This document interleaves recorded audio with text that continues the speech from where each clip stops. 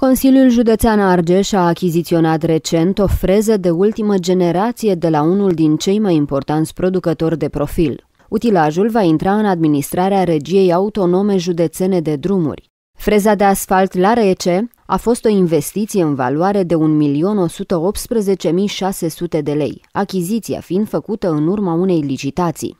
Utilajul are o garanție de 4 ani și a venit însoțit de certificat european de conformitate. Cu această nouă achiziție, flota regiei a crescut la trei freze, toate fiind de aceeași marcă.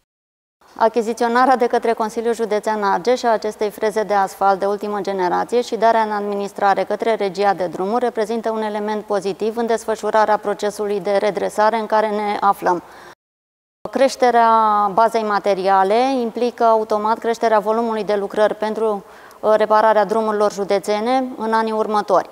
Pe lângă cele două freze pe care le avem, inclusiv cu aceasta vom reuși să rezolvăm în proporție de 90, chiar 100% problemele apărute pe drumurile județene.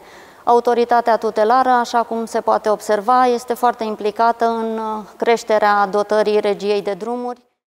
Noul utilaj dispune de funcții suplimentare automate care permit lucrări mai rapide pe șantier, o varietate mai mare de tamburi care oferă o mai mare flexibilitate și capacitate de utilizare a mașinii, precum și de o capacitate mare de încărcare a materialului rezultat în urma frezării.